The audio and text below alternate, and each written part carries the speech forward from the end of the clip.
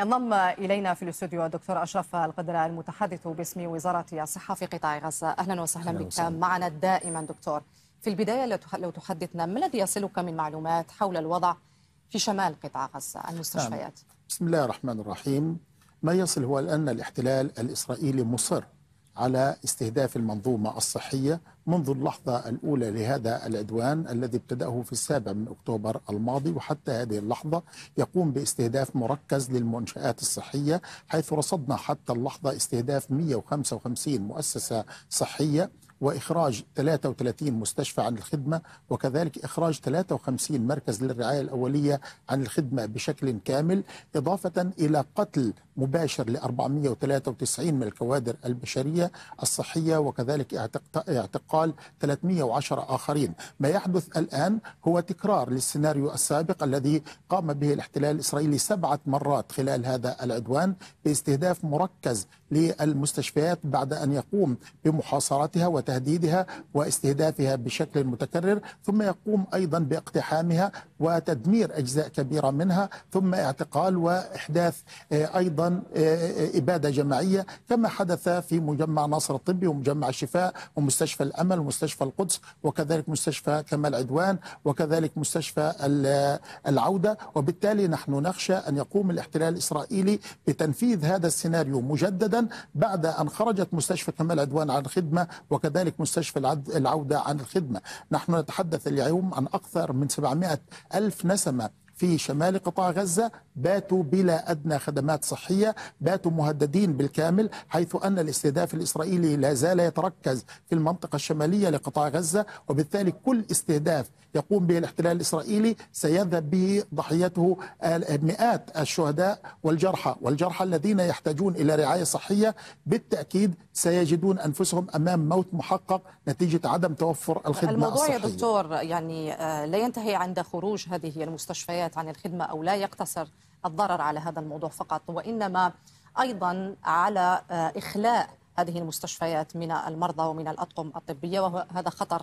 آخر بالنسبة لأرواح المصابين والجرحى في هذه المستشفيات ما الذي يصلك من معلومات فيما يتعلق بهذا نحن الموضوع؟ نتحدث عن أكثر من 160 كادر صحي كانوا موجودين في مستشفى العودة وكذلك 140 في مستشفى كمال عدوان. وبالتالي هذا العدد الكبير من الطواقم الطبية والمرضى والجرحى وخاصة أن بهم أيضا أطفال خدج في الحضانات وكذلك في العنايات المركزة وكذلك حالات بها تعتبر حالات خطيرة. هذه الحالات لا يمكن التعامل معها طالما أنه لا يوجد خدمات صحية حقيقية. تم نقل العديد منهم إلى مستشفى المعمداني وهو مستشفى أقل ما يقال عنه كأنه مستشفى كونه أنه تعرض أيضا للعديد من الاعتداءات الإسرائيلية وتهجير أيضا الكوادر الصحية منه. وبالتالي نحن نتعامل اليوم مع أقل من 2% من الخدمات الصحية المتبقية في شمال قطاع غزة وجنوبه. وبالتالي الاحتلال الإسرائيلي يحكم بالإعدام قصرا على كل من يتواجد في المنطقة الشمالية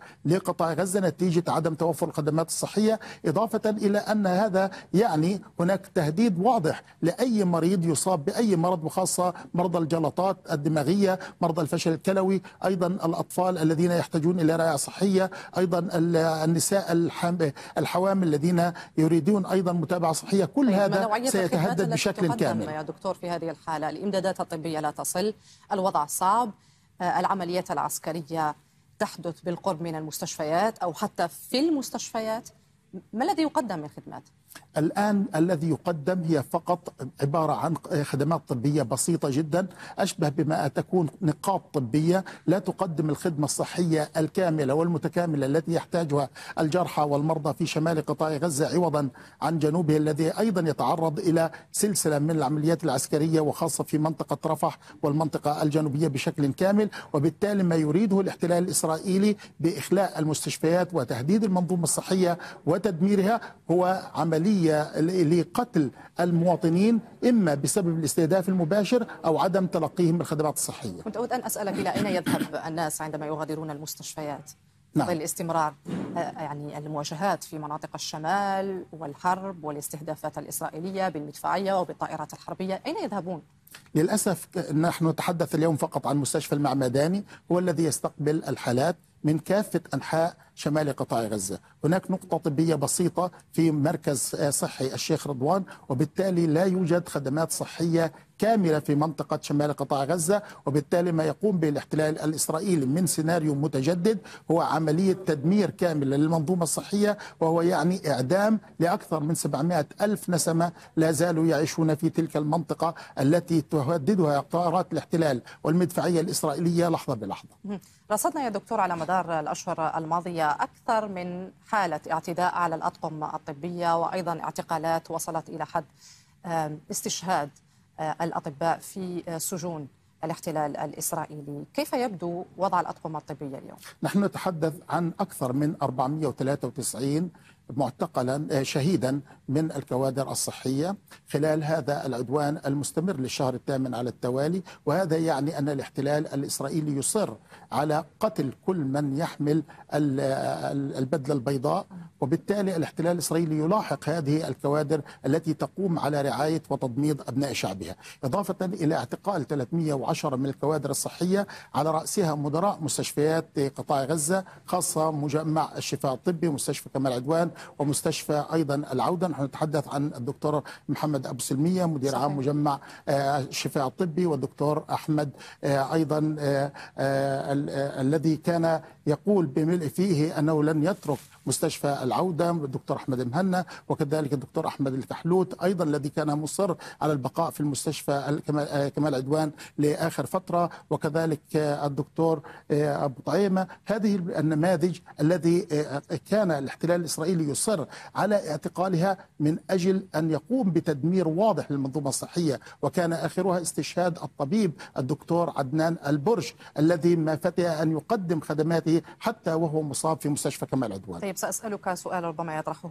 يعني كل متابع لما يحدث في قطاع غزة على الرغم من التشكيك الأمريكي والإسرائيلي في الأرقام التي يعلن عنها فيما يتعلق بالشهداء المفقودين والجرحى، أود أن أسألك هل هناك يعني قدرة على إحصاء أعداد الشهداء والمفقودين والجرحى في قطاع غزة؟ نحن نحاول أن نقوم بتحديث هذه الإحصائيات يوميا في قطاع غزة ونقوم بإرسال هذه التقارير إلى المنظمات الدولية المطلعة على الشأن الصحي. وكان هناك تصريح سابق لمنظمة الصحة العالمية تؤكد صحة البيانات والتقارير التي تقوم بها وزارة الصحة. نحن رصدنا حتى هذه اللحظة أكثر من 35210 من الشهداء إضافة إلى 80 ألف من الجرحى. حتى اللحظة نحاول أن نقوم بإحصاء كامل لكافة بيانات هؤلاء الشهداء. حصرنا آه، أكثر من 25 ألف شهيد استكملت بياناتهم بشكل كامل. هناك أكثر من عشرة آلاف مفقود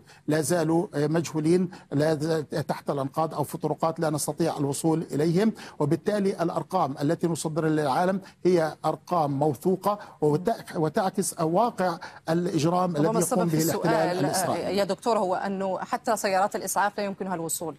نعم. إلى الجميع بسبب الاحتلال الإسرائيلي دمر 130 سيارة إسعاف.